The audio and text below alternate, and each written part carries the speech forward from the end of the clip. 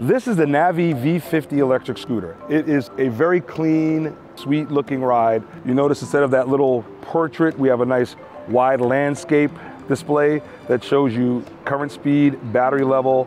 It also shows what ride mode you're in. There's pedestrian, dynamic, and sport. You have your little lever to ring the bell.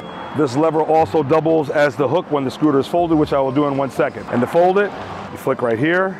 So clean, so neat. Fold it here, it catches, you pick up, you're on the go. The entire scooter weighs 37 pounds, and one thing I like is as I walk, the handlebar would catch me in my tukas, but that's not the case with this particular scooter. The scooter is powered by a single 700 watt motor, 36 volt battery. It has a water rating of IP55, so you don't have to worry about getting caught out in the rain. And another cool feature I like is right here underneath the stem, there's a little rubber casing, which is used to house an AirTag.